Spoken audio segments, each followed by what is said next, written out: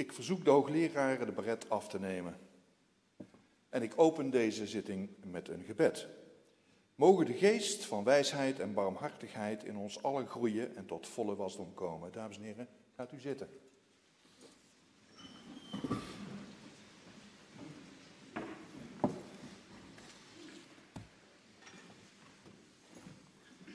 Ik heet u eh, van harte welkom bij deze academische zitting ter gelegenheid van de openbare verdediging van het proefschrift Doing the Right, the right Things Right, An Insider's Perspective on Vulnerability, dat uh, geschreven is en vandaag uh, verdedigd zal worden door Wilma Numans. Welkom en ook de paranimfen hartelijk welkom. Um, voordat ik uh, u, jou het woord geef, wil ik eerst van de gelegenheid gebruik maken om de mensen aan deze kant van de tafel aan u voor te stellen. Aan mijn linkerkant uh, professor Schalk, uh, is promotor en verbonden aan deze universiteit. Naast hem professor Van Regen Mortel, eveneens aan deze uh, universiteit verbonden. Dan stel ik voor, en zij is ook promotor. dan stel ik u de leden van de promotiecommissie voor en zij zullen de vragen gaan stellen aan de kandidaat. Dat is in de eerste plaats professor Hermans en hij is verbonden aan de KU Leuven. Uh, naast hem zit professor Abma van het Leids Universitair Medisch Centrum. Uh, en naast haar zit professor Wilke van de Hogeschool Utrecht. En uh, last but not least professor Wolf van Radboud UMC. ik geef u nu de gelegenheid om uh, een beknopte samenvatting uh, te geven van uw onderzoek in voor het publiek begrijpelijke bewoordingen. Gaat u gang. Geachte voorzitter en leden van de commissie, hooggeleerde promotoren, lieve familie en vrienden, beste onderzoekspartners, collega's en alle betrokkenen. Bedankt voor jullie komst en aanwezigheid hier vandaag in Tilburg. Heel fijn dat jullie hier zijn. Ook welkom aan de mensen thuis die meekijken via de livestream. Ik dank u, meneer de rector, dat ik hier kan vertellen over mijn onderzoek naar maatschappelijke kwetsbaarheid. In iets meer dan tien minuten neem ik jullie mee in het waarom van het onderzoek, in wat is onderzocht en hoe dat is gedaan. Ik sluit af met belangrijkste resultaten. Het waarom van het onderzoek. Ik begin met een paar uitspraken van Bertus, een van mijn co-onderzoekers met ervaringskennis en vandaag ook hier in de zaal aanwezig. Ik heb in mijn leven bijna altijd de rol van buitenstaander gehad. En dat is ook vaak pijnlijk. Het doet mij pijn dat mensen die kwetsbaar zijn naar de achtergrond worden gedreven door onderdachte regels. Einde uitspraak van Bertus. Mensen zoals Bertus, daar gaat het onderzoek over. Zij staan centraal. Mensen in de marge van de samenleving. Mensen die worstelen voor hun bestaansrecht. Mensen die ondanks bepaalde beperkingen of tekortkomingen, fysiek, mentaal, financieel, hun hoofd boven water proberen te houden. Mensen die onderdeel willen zijn van de samenleving, maar daar bepaalde professionele hulp of ondersteuning bij nodig hebben. En daar hebben ze ook recht op. Maar dat recht schiet toch vaak tekort, waardoor deze mensen naar de achtergrond worden gedreven of daar blijven. Feit is dat deze groep mensen niet afneemt. Integendeel zelfs, deze groep is groeiende. Met de sociale staat van Nederland is het niet meer zo goed gesteld. En dat zit zo. In de afgelopen jaren heeft de overheid flinke beleidsveranderingen doorgevoerd. Door te sturen op zelfredzaamheid en participatie wil de overheid dat mindere mensen een beroep doen op overheidssteun. Eerst zelf oplossen, eventueel met hulp uit je omgeving, en pas als het echt niet anders kan bij de overheid aankloppen. Maar velen kunnen niet voldoen aan die verwachting. Zij worden gelabeld als kwetsbaar. Het tegendeel is dan ook het geval. Juist meer mensen doen een beroep op overheidssteun en de overheidsuitgaven stijgen fors. De goede bedoelingen van de overheid pakken anders uit en leiden tot onbedoelde effecten. Maar kunnen we dit keren? Wat me opviel is dat beleid vaak gaat over kwetsbare mensen en dat ze bepaalt voor deze mensen in plaats van dat ze samen met deze mensen tot stand wordt gebracht. Zolang dat perspectief niet wordt meegenomen in de ontwikkeling van nieuw beleid, zullen de verwachtingen van beleid en degenen die dat uitvoeren niet stroken met wat kwetsbare mensen kunnen en nodig hebben. Hierdoor blijven ze op achterstand staan in de samenleving. Daarom zag ik het als mijn opdracht om de stem van kwetsbare mensen naar buiten te brengen. Hun stem over hun beleving van kwetsbaarheid en de onderliggende mechanismen. Dat wil zeggen, de actoren en factoren die daarop van invloed zijn. Met het naar buiten brengen van die stem zou richting gegeven kunnen worden aan verbetering van beleid en de uitvoering daarvan en de verdere ontwikkeling van beleidsvernieuwingen die beter aansluiten bij de behoeften van kwetsbare mensen. Mijn onderzoek had dan ook twee doelen. To prove, kennisopbouw vanuit het perspectief van kwetsbare mensen zelf. En to improve, bijdragen aan relevante verbetering voor mensen uit kwetsbare groepen. De onderzoeksvraag. Wat kunnen we leren van de stem van kwetsbare mensen met betrekking tot kwetsbaarheid en met betrekking tot sociaal beleidsinterventies?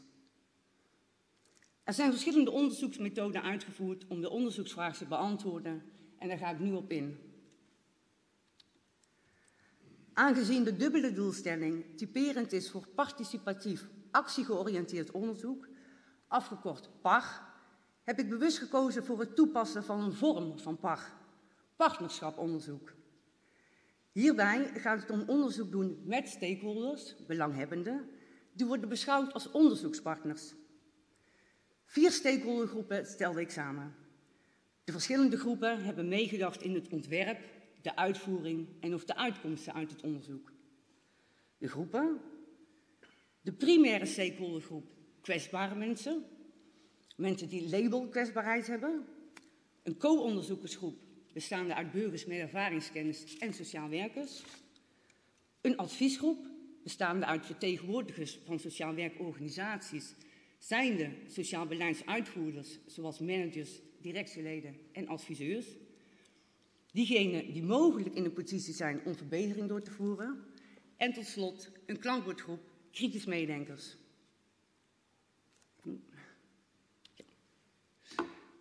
Gedurende het hele onderzoeksproces zijn in totaal 58 stakeholders betrokken geweest. Om de to-proof-doelstelling te bereiken, hebben we samen met de co-onderzoekers diepte-interviews gehouden met mensen die gelabeld zijn als kwetsbaar. We hebben 16 mensen gesproken, resulterend in meer dan 60 uur aan interviewmateriaal.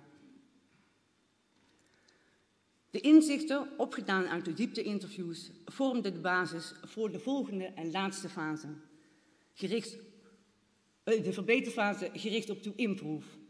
In deze fase organiseren we groepsgesprekken met de stakeholdergroepen, kwetsbare mensen en adviesgroep. De beide groepen brachten we samen om naar de verbetersuggesties uit de interviews te kijken en om samen een verbeteragenda op te stellen voor de uitvoeringspraktijk van sociaal beleid. De belangrijkste resultaten. De interviews maakten zichtbaar dat kwetsbaarheid een dynamisch en complex samenspel is van factoren, bijvoorbeeld een ziekte, en vooral actoren, zoals hulpverleners en familieleden. Kwetsbaarheid is vooral het resultaat van interactie met anderen. Kwetsbaarheid is daarmee een relationeel fenomeen, niet iets individueels zoals het vaak wordt benaderd.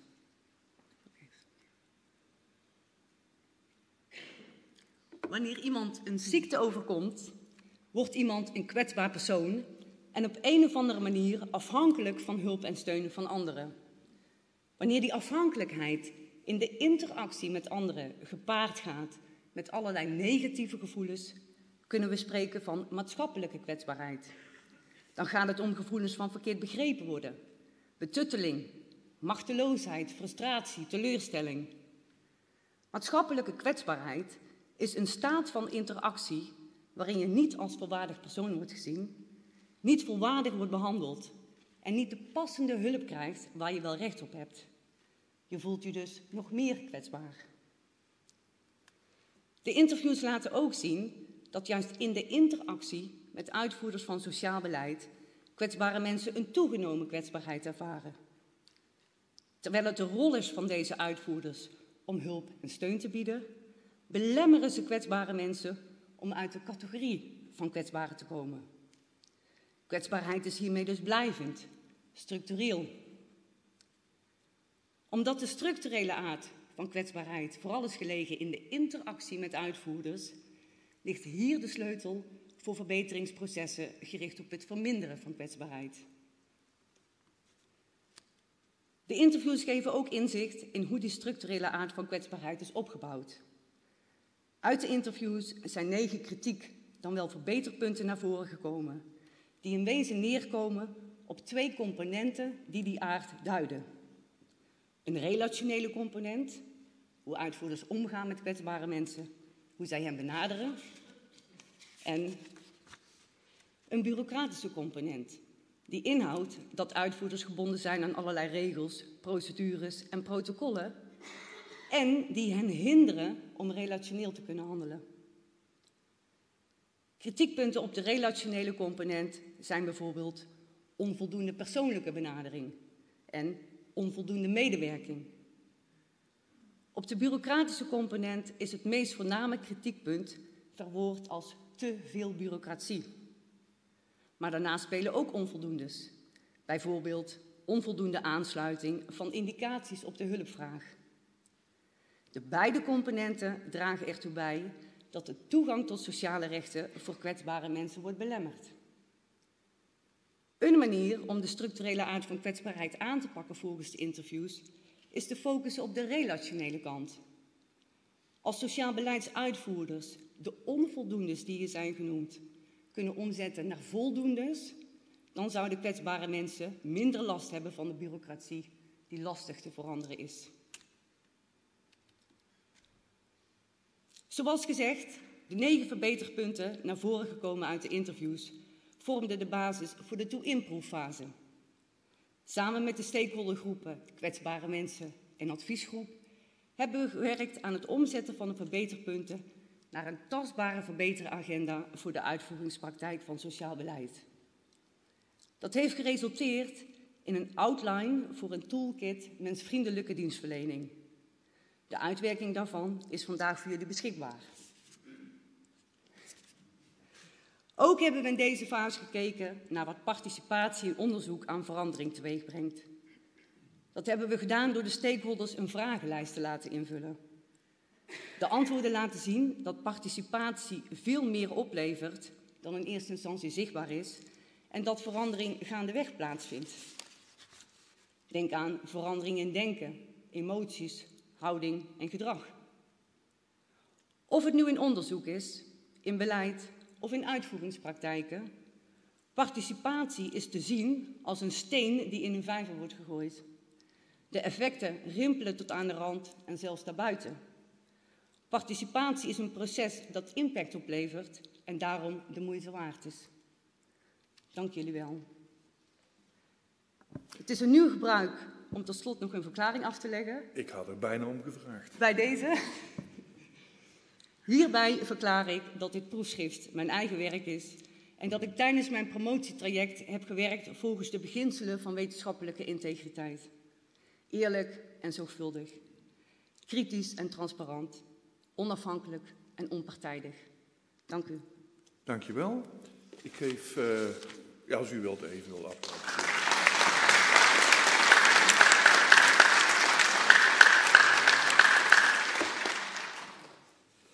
Ik geef nu uh, het woord aan uh, uw eerste opponent, en dat is professor Hermans.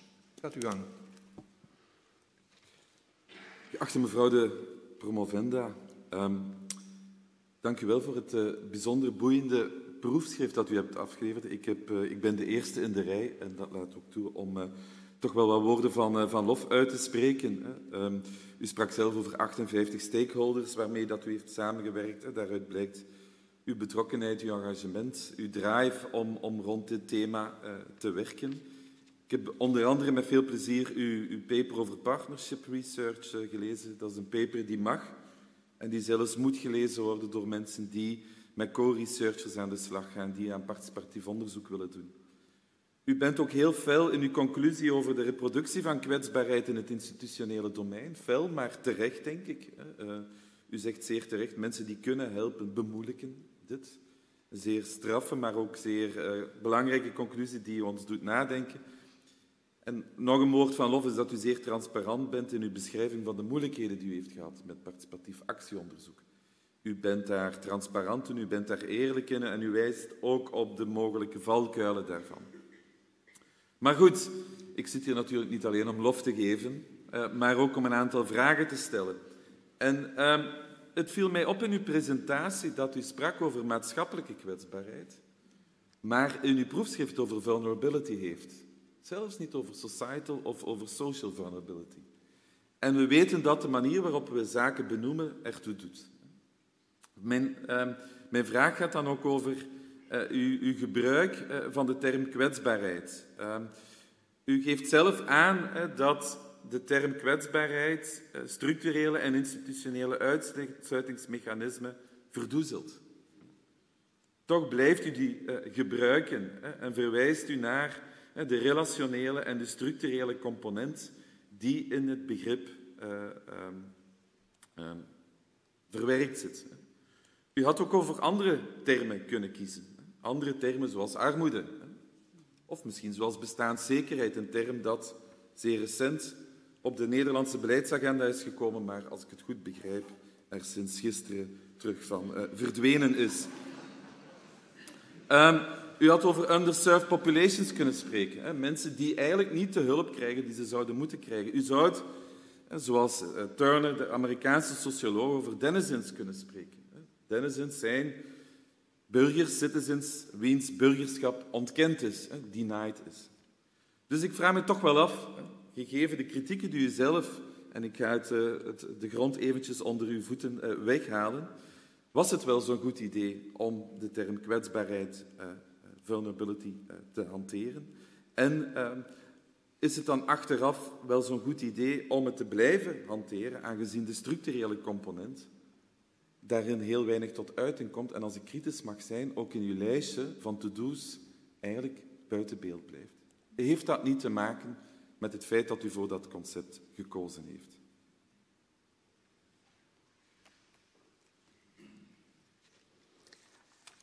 Hooggeleerde opponent, hartelijk dank voor uw lovende woorden over mijn proefschrift en uw vraag.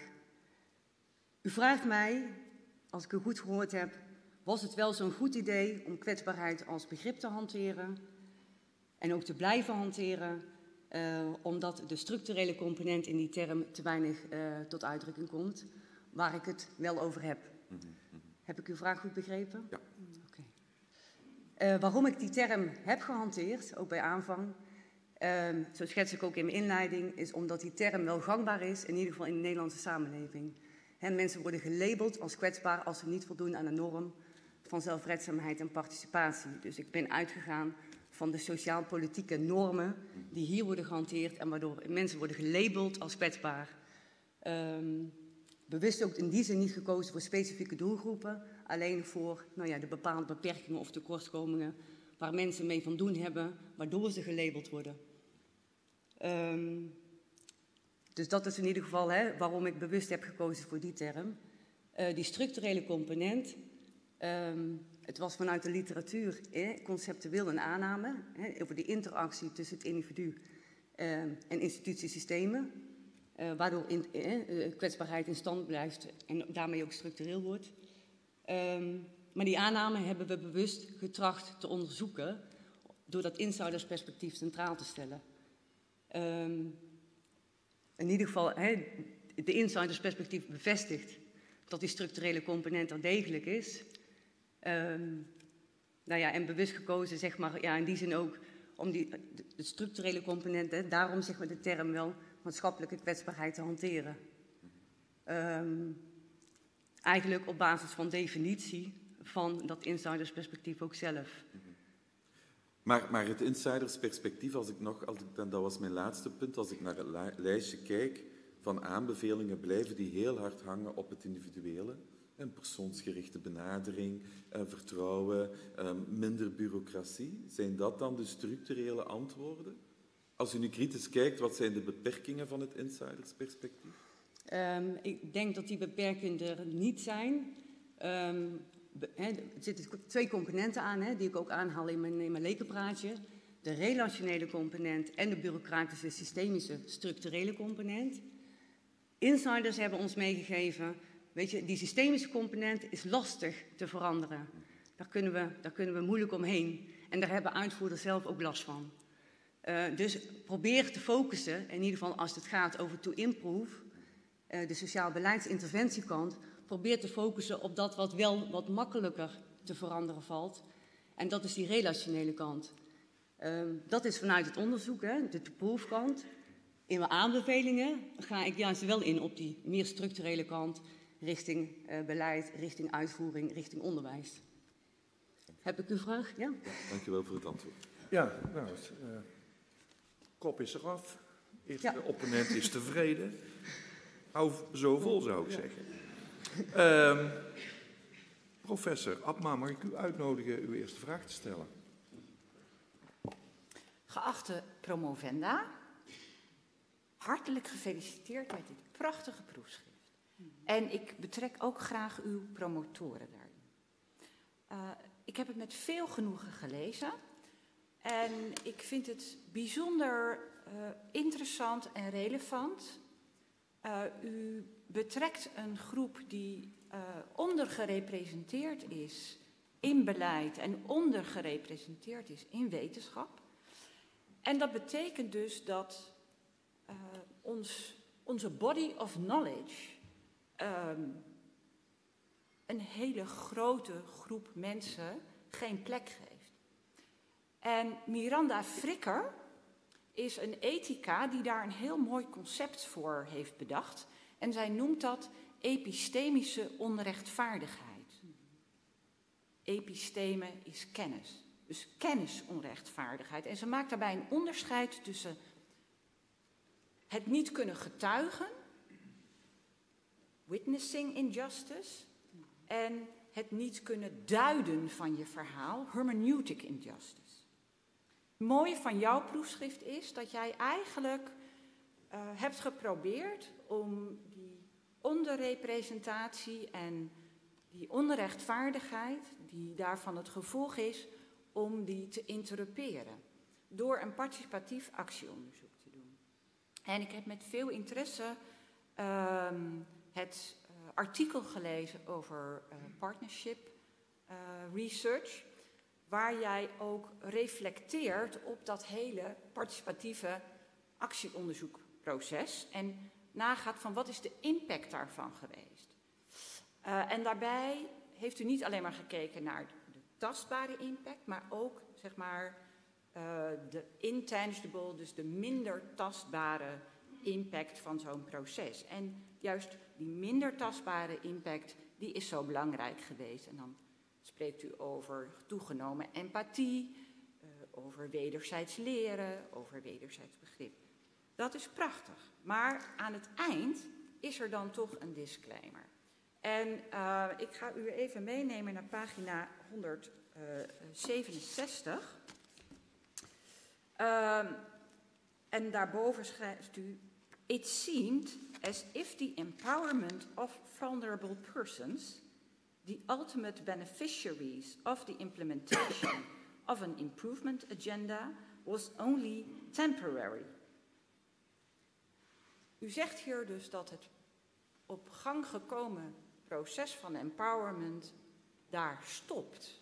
Dat dat een tijdelijk, een temporary uh, impact Betekent dit dan dat uw onderzoek eigenlijk ook een vorm van disempowerment tot gevolg heeft? En kunt u aangeven hoe u met die disempowerment bent omgegaan en of er meerdere momenten zijn geweest van disempowerment in dit proces? Hooggeleerde opponent, hartelijk dank voor uw complimenten over uh, mijn proefschrift. Um, en hartelijk dank ook voor uw vraag. Um, u heeft het hè, over het begrip empowerment, uh, wat hè, in ieder geval ook de bedoeling zou zijn van het onderzoek. Um, en u benoemt, uh, het lijkt, hè, ik beschrijf ook in, uh, in mijn proefschrift, het is een tijdelijke, tijdelijke empowerment mogelijk. Um, en nou ja, mag dat, hè, leidt dat uiteindelijk ook tot disempowerment. Of is dat de mogelijkheid, zeg maar, als, als gevolg van deze opzet van onderzoek doen? Heb ik uw vraag zo goed begrepen? Ja, ik beschrijf inderdaad um, dat er, hè, het kan zijn inderdaad, of in ieder geval binnen de scope van die focusgroepsessies, kan het zijn dat er sprake is geweest van tijdelijke empowerment. Wat er gebeurde, en we hadden natuurlijk ook te maken met lange interrupties vanwege de COVID, ten tijde van uh, die focusgroepsessies, waardoor we niet makkelijk konden doorpakken.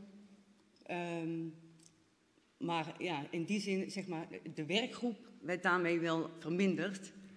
Uh, en bleef het bij de groep eigenlijk, hè, van de stakeholdergroep kwetsbare mensen, die aan zet waren voor, uh, voor die uh, uitwerkagenda, de verbeteragenda. Um, dat was een lastige opgave. Um, maar de vraag is, ja, is dat dan tijdelijke, of hè, is dat dan tijdelijk die empowerment geweest tot aan dat moment? Um, ik denk van niet. Het was, het was wel een beetje een teleurstelling uh, dat we niet konden doorpakken met elkaar. Uh, maar uiteindelijk hebben we dat weer weten om te buigen uh, door die uitwerking buiten het bestek van dit proefschrift te doen. Geen slokje.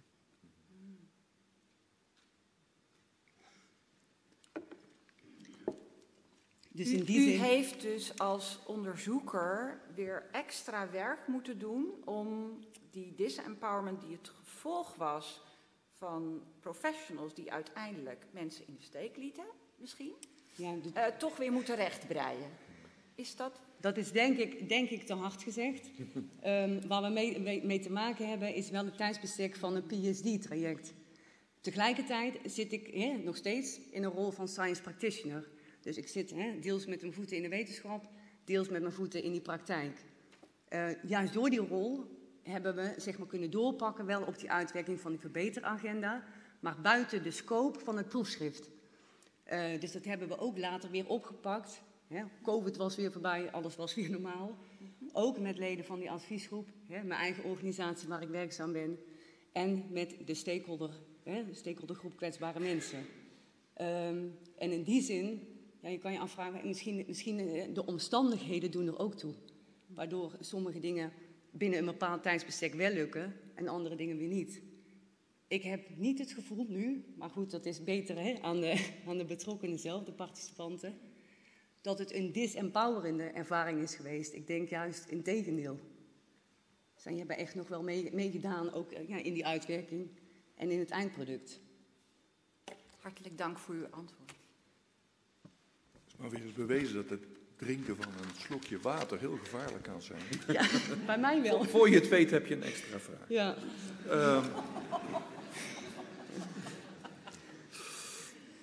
uh, professor Wilke. Ja, hartelijk dank. Uh, ik sluit me graag uh, allereerst aan bij de complimenten van, van mijn voorgangers voor u en ook voor de, voor de promotoren voor dit, dit mooie onderzoek. Ik ben een groot fan van participatief uh, uh, actieonderzoek, waarbij uh, de stem van mensen waar het uiteindelijk om gaat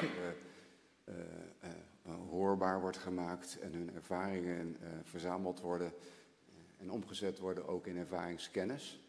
ik weet ook dat dat heel ingewikkeld kan zijn, een lange traject waar van alles er nog wat bij komt kijken. Maar ook een, een, een prachtige dynamiek waar heel zorgvuldig mee wordt, moet worden omgegaan. En dat heeft u ook blijkt ook uit proefschrift, ook op een hele zorgvuldige en mooie manier gedaan. Uh, en het levert ook weer inzichten op uh, over van hoe, hoe, je dit soort onderzoek kan, kan, kan doen en waar je allemaal rekening mee moet, moet houden. Dus in die zin ook een mooie bijdrage aan, aan de methodologie, zeg maar. Daar wil ik eigenlijk, daar wil ik echter niet op ingaan.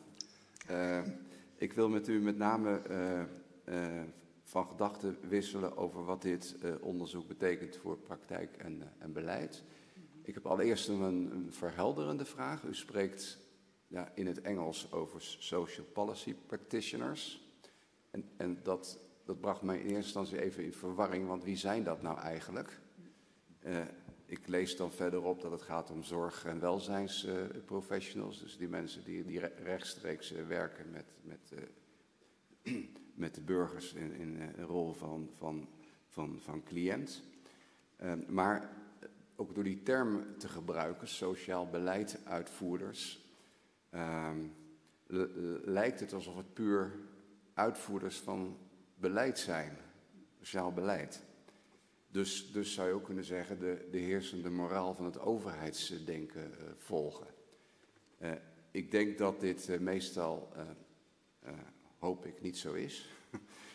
Maar ik ben benieuwd of u dit op basis van uw onderzoek ook wat zou kunnen nuanceren.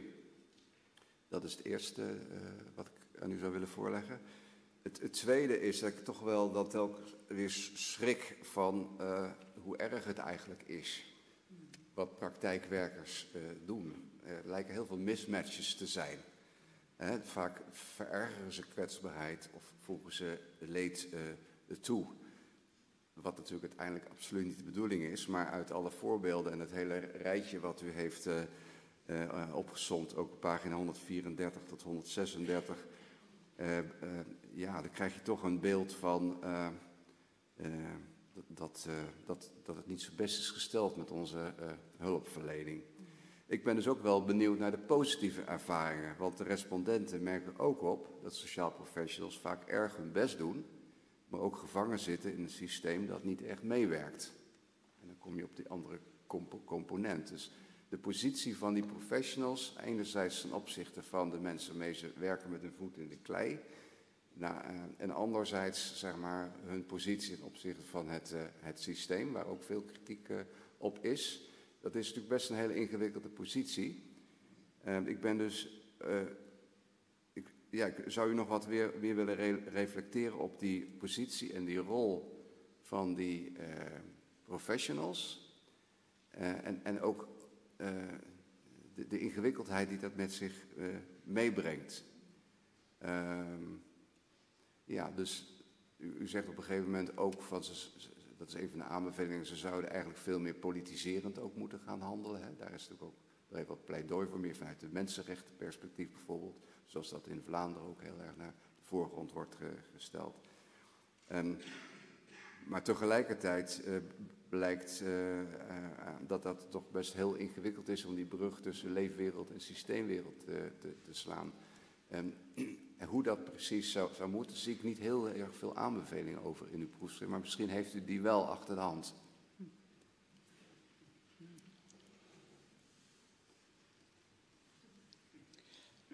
Oké. Okay. Hooggeleerde opponent, ik dank u hartelijk voor de complimenten ook over mijn proefschrift en, uh, en uw vragen. Uh, uw eerste vraag, als ik u goed, uh, goed heb gehoord, um, gaat erover dat sociaal beleidsuitvoerders louter uitvoerders van beleid zouden zijn. En u vraagt mij om dat misschien wat meer te kunnen nuanceren.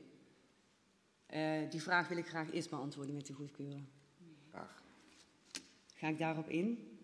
Um, wat, wat, uit het onderzoek is gebleken, um, is dat in ieder geval hè, volgens het insidersperspectief, perspectief, perspectief van kwetsbare mensen, um, dat ze wel zien uh, dat het, hè, of vooral de ervaring hebben dat het vooral uitvoerders zijn van, van sociaal beleid, die sociale professionals. En dat is het dan het hele brede gremium uh, van, hè, van uitvoering van sociaal beleid, van uitkeringsverstrekkers tot zorg- en hulpverleners, sociaal werkers. Um, alle hebben ze daar ook uh, mee van doen. En gaat het dan ook om mensen die bij gemeenten werken bijvoorbeeld? Ook, ja, dit brede scope. Ik beschrijf eigenlijk vanuit het onderzoek vier clusters van organisaties die dat ja, hele brede sociaal beleidsuitvoeringsveld uh, dekken. Um, en daar hebben um, nou ja, respondenten hun verbeterpunten, commentaren over gegeven. Um, commentaar is juist dat ze nou ja, zich, hè, in ieder geval uitvoerders ook, ze zien wel, ze, zien dezelfde struggle kwetsbare mensen zelf hebben van doen met die bureaucratie, met die systemische kant. Maar zij zien dat uitvoerders dat evenzeer zo hebben. Blijkbaar ze hebben er last van, omdat ze toch hè, zich daaraan houden.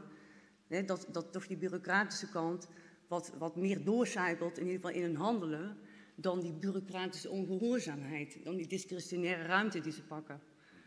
Um, dus in die zin um, zijn uitvoerders van sociaal beleid, maar tegelijkertijd wordt ook gezien dat ze wel anders zouden willen. door insiders. Heb ik zo u Ja, en, en, waar, waar zit dan eh, eh, het to improve? Wat zou er dan moeten gebeuren? Willen ze zeg maar veel meer die brugfunctie kunnen vervullen en ja, wat- wat- politiserende rol kunnen oppakken? Wat uit, eh, uit het onderzoek is gebleken, is dat, dat insiders zeggen, we willen dan vooral dat er meer gefocust wordt op die relationele kant. Hè, eigenlijk het advies aan die uitvoerders, pak nou je discretionaire ruimte, wees een beetje bureaucratisch ongehoorzaam. Ehm, dat, dat is de aanbeveling eh, die zij doen richting eh, die sociaal beleidsuitvoeringspraktijk. en richting beleid zou dat dan zijn, hè, betrek juist ook meer de stem in die bestuurlijk politieke arena. Ehm, ik kan natuurlijk weinig zeggen over verdere aanbevelingen dan ik al heb gedaan in mijn proefschrift, omdat ik daar geen onderzoek naar heb gedaan. Van hoe zeg maar, die bureaucratische component, ehm, ja, hoe daar meer, hè, meer concretere aanbevelingen op zouden kunnen worden geschreven. Eh, dat valt buiten het bestek van dit onderzoek. Raakt ook in een nieuw proefschrift waarschijnlijk. Ja. ja. Heb ik de vraag zo. eh, Ja, dank u wel. Ik vond dat niet zo'n goede aanbeveling. Eh, professor Wolf, aan u het woord.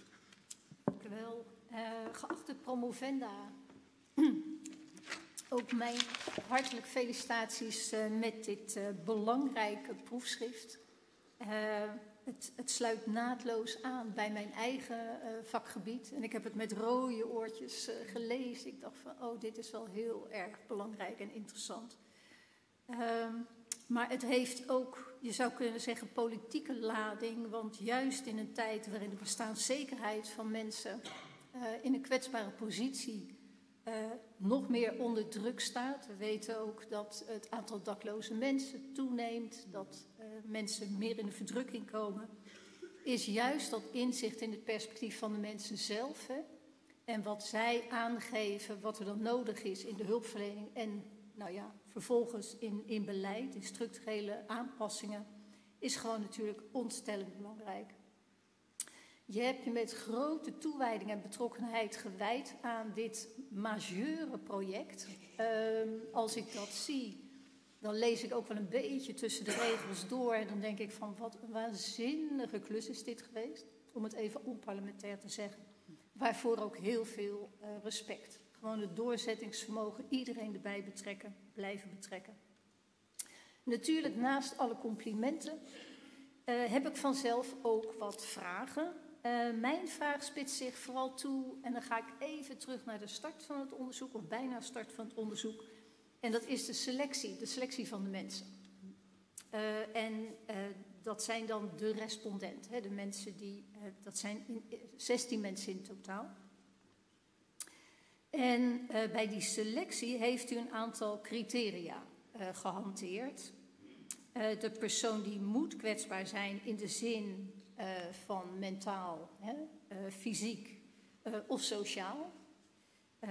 Welzijn ontbreekt, dan wel een groot risico op verder maatschappelijk achterop raken.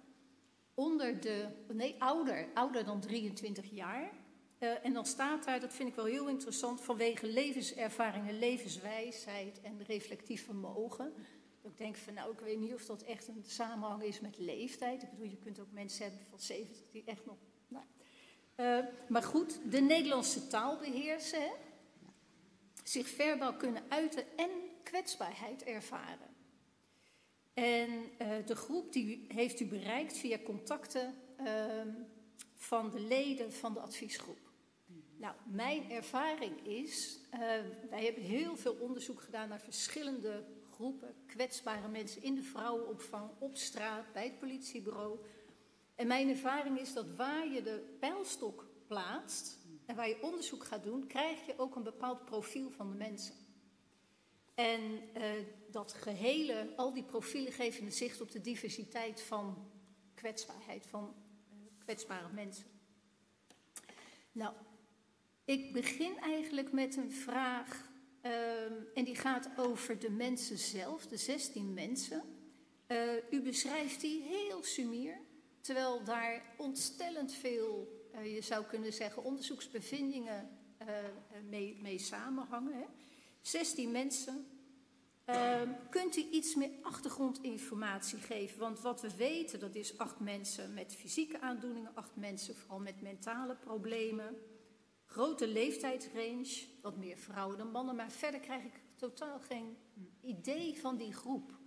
Uh, ik ben heel benieuwd bijvoorbeeld naar huishoudsamenstelling, sociaal netwerk, omdat ook de hele sociale inbending van mensen heel veel invloed heeft op jouw ervaring van kwetsbaarheid. Dus als u daar iets meer informatie over zou willen geven, dan begin ik met die vraag. Hoogleraar, opponent, hartelijk dank ook uh, voor uw felicitaties uh, en de mooie woorden over mijn proefschrift. Dank u ook voor, voor uw vraag.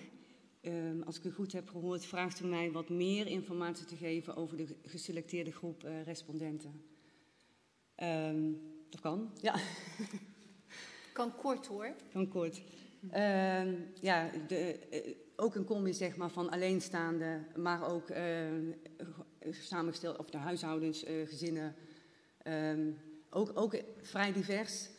Um, mensen, ja, als we het hebben over fysieke klachten, mentale klachten, in die zin ook, ook een range van ziektebeelden op, op de beide componenten, zeg maar. mensen echt, echt met, met ja, psychische problematiek. Hè, waar, waar, echt diagnoses onder liggen. Als je kijkt naar de fysieke kant, mensen met nou ja, MS bijvoorbeeld als ziekte, ook hè, progressieve ziekte, toch de wat component zeg maar, op die fysieke kant. ja, sociaal participeren. het opmerkelijke was, en dat kwam ook naar voren uit de interviews, is dat de aanname vaak is, hè, ook, ook, vanuit de norm, als we het hebben over maatschappelijke participatie, um, dat mensen die gelabeld zijn als kwetsbaar uh, niet of onvoldoende participeren. Um, wat, we hebben, wat wij juist hebben gezien is dat ze volop participeren. En dan is dat niet in arbeid, maar wel in een hele range van andere setting. Ja. ja. Um, is dit voor nu zo voldoende? Ja, zeker. Ja. Dat geeft in ieder geval, en dat laatste intrigeert me trouwens ook, want uh, ik heb daar uh, ook wel een. Ik, die vraag had ik al voorbereid hoor, zonder dat ik dit wist.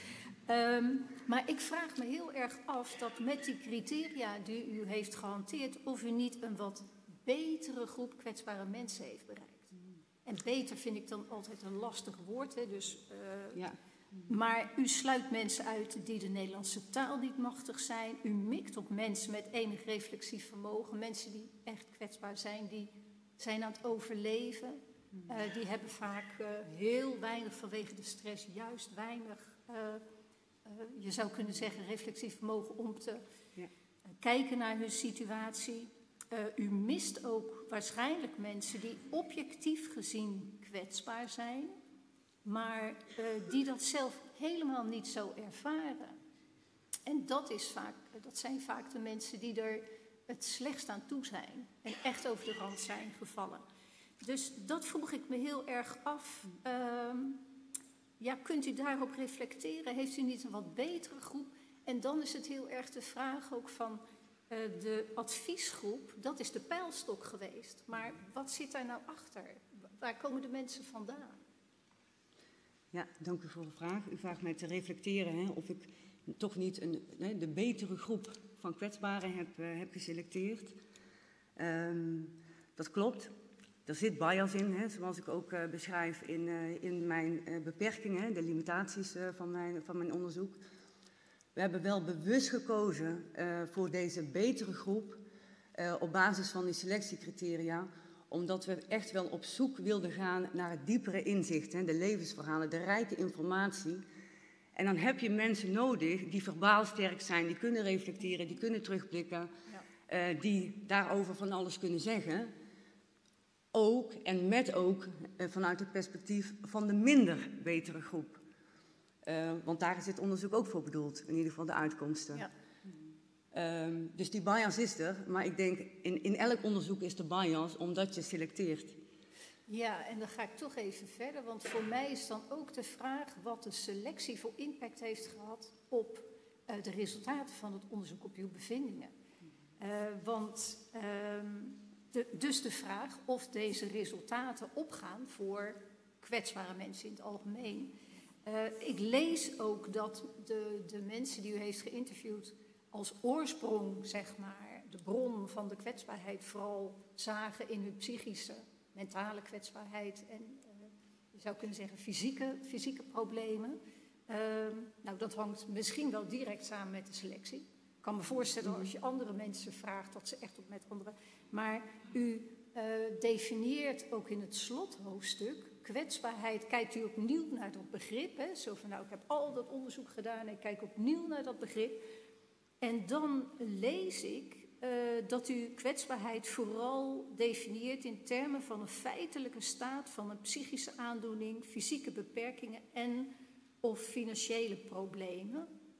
En dan denk ik van, is dat niet een directe consequentie van, je, uh, van uh, de selectie die je hebt gedaan? Dank u voor uw vraag. Um, ik denk dat die consequentie daar wel mee samenhangt. Uh, tegelijkertijd um, denk ik dat, dat, de bron van heel veel kwetsbare mensen wel daarin is gelegen. ook vanuit mijn rol als science practitioner, ik zit ook in die praktijk. Um, daar waar het gaat over kwetsbaarheid, uh, zitten er toch altijd ook die grondkenmerken in gelegen. Um, hè, en daarnaast nog, nog vaak heel veel andere problemen. Uh, het mooie was juist zeg maar, ook vanuit dit onderzoek, hè, de betere groep, uh, zoals u het even zo beschrijft. Um, zij hebben ook gere gereflecteerd op de minder goede groep. Um, en eigenlijk he, kwam bijvoorbeeld tot uitdrukking in, in, in zelfbeeld, he, beeldvorming. Zoals zij zichzelf zien, is nog best wel positief ook, he, naast negatieve aspecten. Maar zoals zij de minder goede zeg maar, groep zien, uh, zien zij daar ook vooral nog meer negatieve aspecten aan. En doen zij juist aanbevelingen hoe daar dan mee om te gaan. Dus ze verplaatsen zich in de groep die er minder goed aan toe is. Dat ja, zo, zo hebben we de, de onderzoeksbevindingen ja. wel, uh, wel gelezen. Ja. Ja. ja. Ik heb nog heel veel vragen. Dat is nu niet het moment, uh, misschien later. Maar veel dank voor je antwoorden. Dankjewel. Ik zie dat er tijd is om een uh, tweede ronde te beginnen. Dus ik geef het woord weer aan professor Hermans. Ja, dankjewel. Als je vroeg moet vertrekken en van het verst mag komen, heb je het voorrecht om als eerste een tweede vraag te stellen. Dus uh, heel fijn. Nee, ik wil nog heel even eventjes over de methodologie verder gaan. Hè. De, de, de, participatieve actieonderzoek, hè, dat bestaat uit drie componenten. Participatie, actie en, onderzoek. En de combinatie van die drie is verre van een evidente opdracht. Hè. Um, die actie, die, sommigen definiëren dat ook als verandering. Hè. Actie staat niet als een doel op zich, maar die actie die moet bijdragen aan verandering. U spreekt zelf ook over de, de to-improve-fase. Uh, toen ik... Uh, uh, nee, ik kan nog, toen ik in 2010 voor de eerste keer naar de European Social Work Research Conference ging, de eerste conferentie van sociaal werkonderzoekers in Europa, zei Ian Shaw op het einde van de conferentie, naar, op, de, op de vraag wat moeten we niet meer doen, was zijn antwoord, we moeten geen participatief actie onderzoeken. Toen ik zelf in 2019 de keynote mocht doen op onze eigen conferentie in Leuven, was mijn stelling dat participatief actieonderzoek de kern uitmaakt van sociaal werkonderzoek. Maar, en ik voerde daar de driedeling van Sarah Banks aan toe, en dat heeft u ook gedaan in uw proefschrift. U verwijst naar de drie vormen van impactverandering die actieonderzoek of participatief actieonderzoek kan hebben. Participatieve actie, uh, impact op niveau van de betrokkenen, collaboratieve impact op niveau van de organisaties, organisatie, organisaties die erbij betrokken zijn en collectieve impact, met name een impact die, zoals uit uw tekening blijkt, uitbreidt buiten de organisaties. Ehm, de aanbeveling die Sarah Banks doet, is om vanaf het begin van je uitbouw of van je ontwikkeling van je participatief actieonderzoek al zeer goed na te denken over wat voor soort impactverandering dat je nastreeft.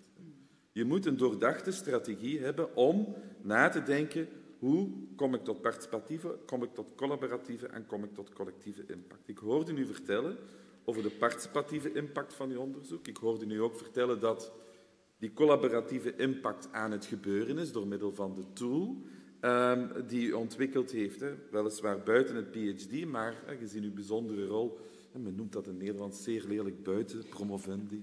We moeten daarmee stoppen, u bent een volwaardige promovend.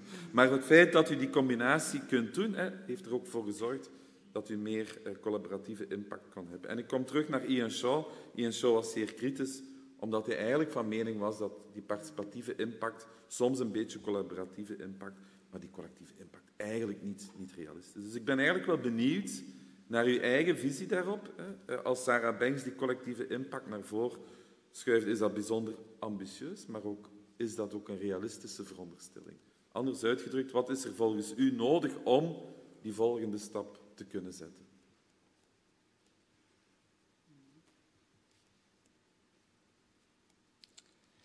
Hoogleden opponent, hartelijk dank uh, voor uw vraag.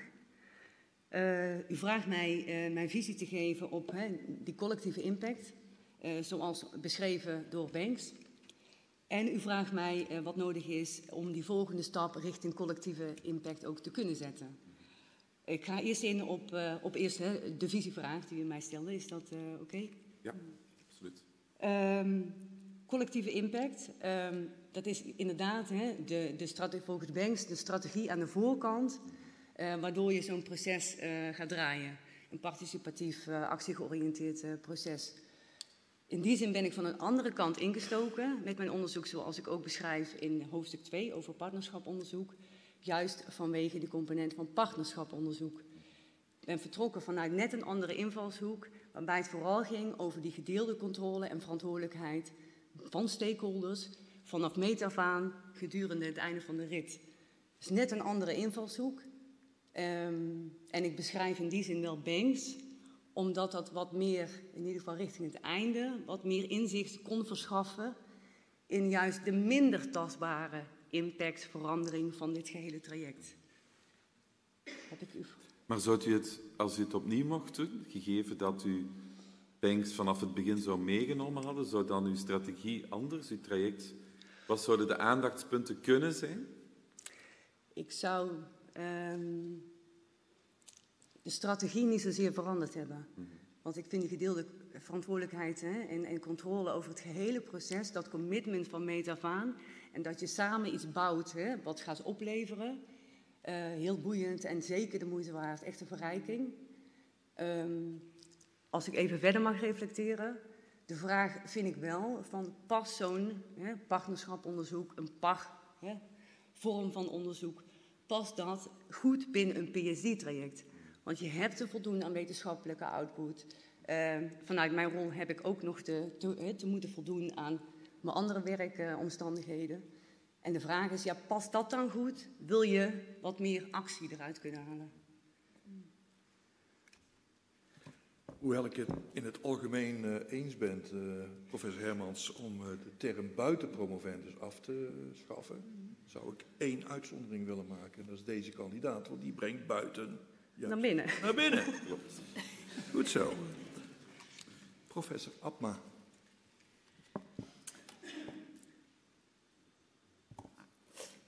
Geachte kandidaat. Um, ik ben van plan om een onderzoek te starten naar uh, het wantrouwen ten opzichte van instituties samen uh, met mensen met een migratieachtergrond op leeftijd. En een van mijn uh, promotiekandidaten is op dit moment bezig om daar een zogenaamd mozaïekvoorstel voor te schrijven. Zij heeft zelf ook een biculturele achtergrond. En heeft u uh, adviezen voor mij die ik uh, met haar zou kunnen delen voor het opzetten van een dergelijk onderzoek? Hooggeleerde opponent, dank u wel voor uw vraag. Ik heb adviezen. um, aan de voorkant, denk heel goed na. Vooral, hè, zoals ik ook beschrijf in mijn onderzoek, uh, ieder, ieder, uh, of in mijn proefschrift, uh, ieder pad is een eigen pad. Um, en vraagt zorgvuldige doordenking hoe, hoe dat op te zetten.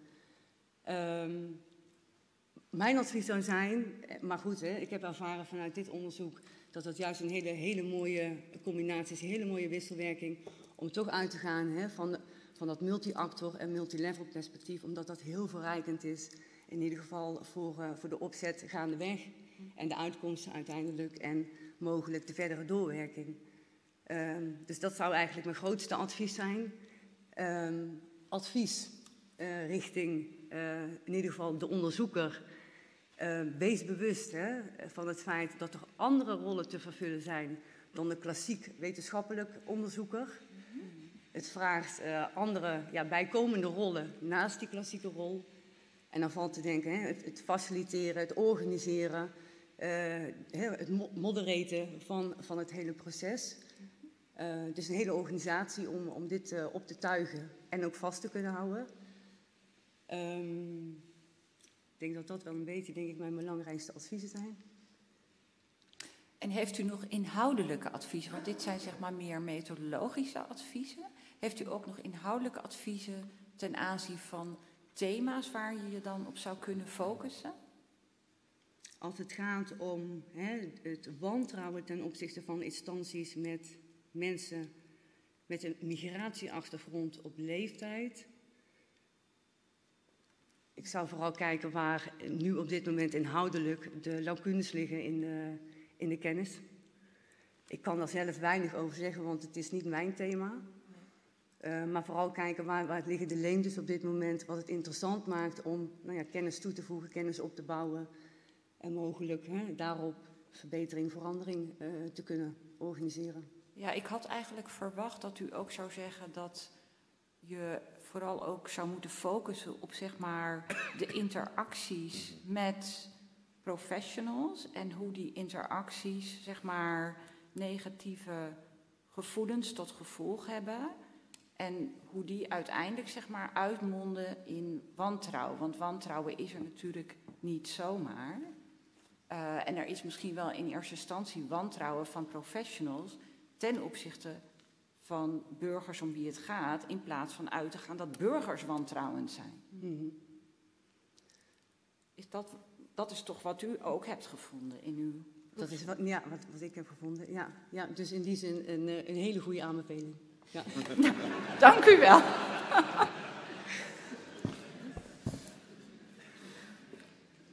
Professor Wilke, uh, is uw volgende opponent. Ja, ik wil graag uh, nog even doorgaan op impact en, uh, en doorwerking. Uh, ik geloof uh, sterk in de, in de beweging van, van onderop.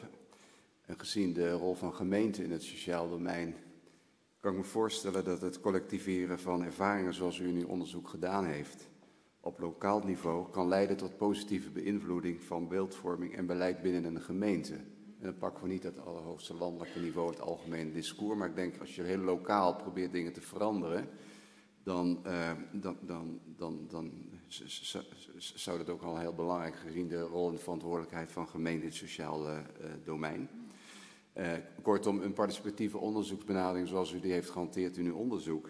En, en aantonen als je dat, hè, dat, dat, dat werkt, dat levert allerlei inzicht op. Uh, zou je dat dan ook niet kunnen gebruiken uh, voor beleidsbeïnvloeding op lokaal niveau? Hè? Dus uh, niet zozeer de onderzoekmatige kant, maar meer bij elkaar brengen en bundelen van ervaringen en ervaringskennis, ervaringsdeskundigheid van mensen in kwetsbare posities.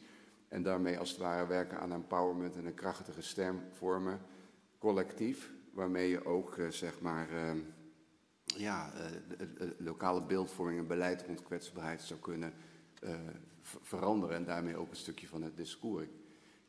Ik, uh, ik, ik zie daar wel potentie in. Uh, wellicht uh, moeten sociaal professionals dat kunnen en moeten faciliteren, wat ze misschien nu nog niet heel erg doen. Um, dus ik ben heel benieuwd hoe u daar tegen aankijkt. Hooggeleerde opponent, hartelijk dank voor uw vraag. Um, u vraagt mij um, of zo'n opzet, hè, als is gehanteerd in dit proefschrift qua onderzoek, ook toegepast zou kunnen worden als het gaat om lokaal sociaal beleid? Ik denk zeer zeker, zeer zeker. Goede mevrouw. Ik schors de zitting voor beraad en ik verzoek u de terugkomst van de commissie af te wachten.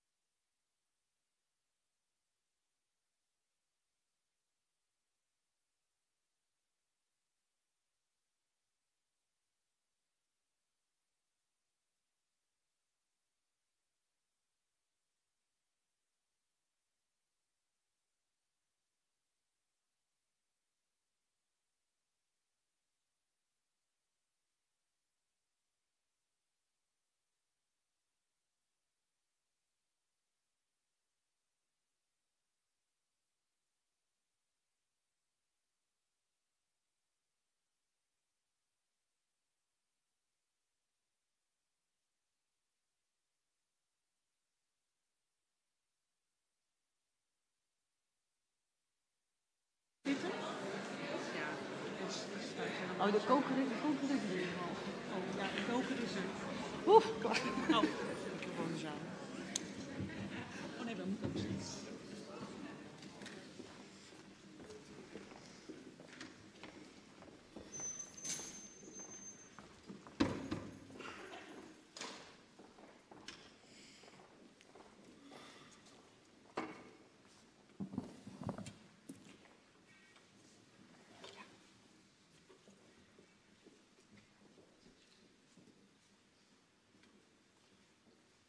Mevrouw de kandidaat. Het College voor Promoties van Tilburg University heeft kennis genomen van het door u bewerkte proefschrift. Gehoord uw verdediging heeft het College voor Promotie besloten u het doctoraat te verlenen. De professor Schalk is gemachtigd u op de gebruikelijke wijze met deze waardigheid te bekleden. Volgaarne aanvaard ik de taak mij door de rector magnificus van de universiteit opgedragen. Uit kracht dan van de bevoegdheid ons bij de wet en bij de reglementen der universiteit verleent, volgens besluit van het college van promoties van Tilburg University, verklaar ik bij deze u, Wilma Laura Numans, te bevorderen tot dokter. U verwerft hiermee alle rechten die door wet of gewoonte aan het doctoraat zijn of zullen worden verbonden. Naast rechten zijn er ook plichten verbonden aan het doctoraat. Dat zijn op de eerste plaats plichten gericht op integere wetenschapsbeoefening. Het voorrecht als dokter bekend te staan in de samenleving betekent ook dat deze op uw onafhankelijke en betrouwbare oordeel moet kunnen vertrouwen. Belooft u bij toekomstig wetenschappelijk onderzoek volgens de beginselen van de wetenschappelijke integriteit te werk te zullen gaan? Ja, dat. Ten bewijze van uw bevordering tot dokter stel ik u de oorkonde door rector en promotores ondertekend en met het zegel der universiteit bevestigd ter hand.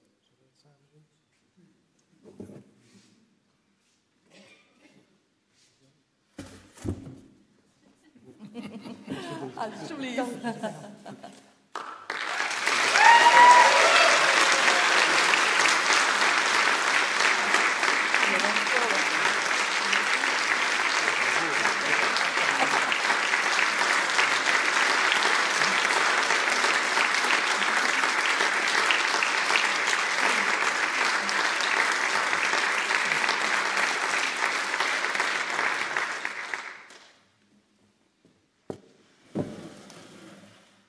Ik kwijt mij van een aangename taak, zeer geleerde mevrouw.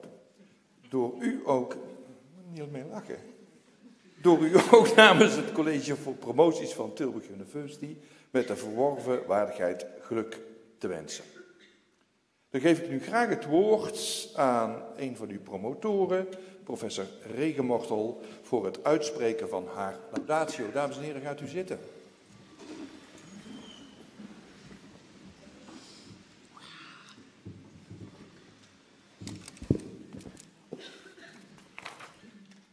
Hooggeleerde dokter Numans, beste Wilma. Je klopt als een van de eerste aan bij onze gloednieuwe academische werkplaats Sociaal Werk. Schrijven 2014. Een eerste ontmoeting was er met jou en je baas Gon Mevis bij Cultuur de Twern hier in Tilburg. En het was meteen duidelijk. Het klikte op persoonlijk vlak, maar er was zeker ook een match tussen jullie organisatie en jouw persoonlijke ambitie en onze missie en opdracht van de academische werkplaats. Verwetenschappelijking, professionalisering en vermenselijking van sociaal werk. Empowerment, co-creatie, ervaringsdeskundigheid, to proof en to improve. Het zijn woorden die ons toen verbonden en die jij je vandaag zo goed hebt toegeëigend. Niet enkel in woorden, maar zeker ook in daden. Niemand zal jouw lijfsprook ooit vergeten.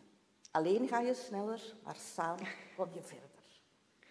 Jouw onderzoeksdesign is ervan een heel mooi voorbeeld. Vele stakeholders werden actief betrokken.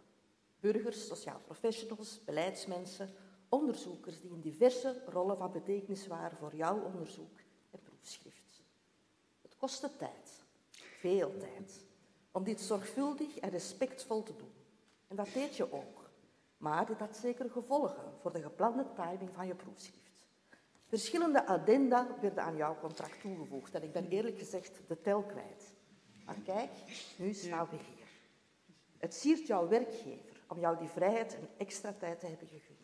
Deze flexibiliteit had je zeker nodig. Maar ook voor jou was deze kwestie een leerproces. En ik zie vandaag nog een sterkere Wilma voor me. Samenwerken is heel belangrijk voor jou.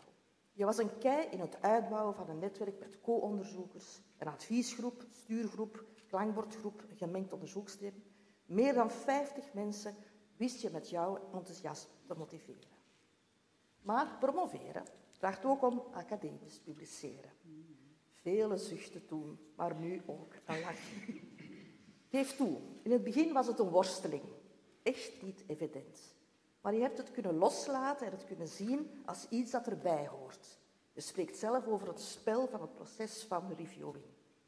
En van toen af liep het eigenlijk ook vlotter, aangenamer, zeker voor jezelf. Je, je creëerde rust, maar je kreeg zelf ook rust. En de resultaten volgden. Je schreef een prachtig artikel, zal een paar keer vernoemd vandaag, over partnership research en multi-stakeholder participation in de International Journal of Qualitative Methods. Ook een tweede recent artikel trouwens over co-impact kreeg erin een plek. Het is zeker niet de eerste beste journal, met een impactfactor van 5,4, best hoog. En ik heb deze week nog gekeken, van jouw eerste artikel zijn er liefst 6.985 views en downloads. Je schreef in dit eerste artikel ook over de diverse rollen van een onderzoeker die je zelf schitterend hebt opgepakt. Een kritische vriend, dat was je zeker vervelen. Creativiteit is nodig bij partnership research. Voor deze vorm van onderzoek bestaat geen vaste blauwdruk. Je schrijft het zelf. A path is created by walking on it. Een mooi gezegde dat je gebruikte en dit, dit is ook weer typisch voor jou. Een mooi voorbeeld van creativiteit was uiteraard ook de film die je maakte over co-research en partnerschap. Vele citaten van zowel burgers met ervaringskennis en van sociaal professionals blijven hangen. Ze tonen de impact aan van onderzoek in partnerschap, van langdurig partnerschap. En ook de verschillende vormen van impact komen hierin aan bod, ook de minder zichtbare vormen. Zeer indrukwekkend. Ik gebruik deze film ook in KU Leuven in onze academische master Sociaal Werk en Sociaal Beleid. En mijn studenten zijn ook altijd erg gelovend. Ook bij collega's van de academische werkplaats Sociaal Werk verbinding. Kijk maar eens naar jouw twee prachtige paradieven vandaag. Martine Gansenfles, maar ook Juliette Boog. Juliette Boog heb je als extra bonuspromotor jouw woorden weten te vinden.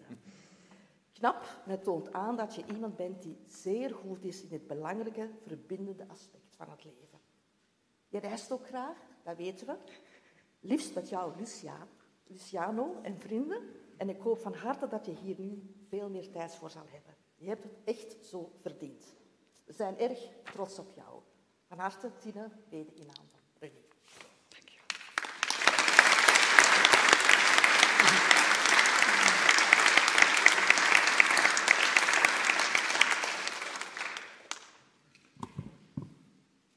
Dr. Numans, you did the right thing.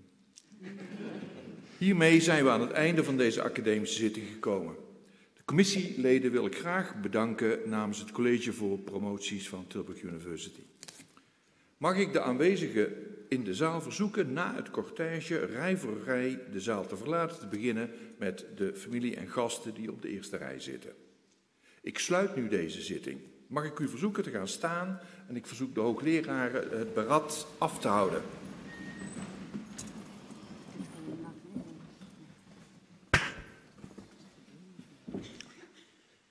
Mogen dankbaarheid ons volgen op onze zoektocht, barmhartigheid ons vergezellen en liefde ons voorgaan.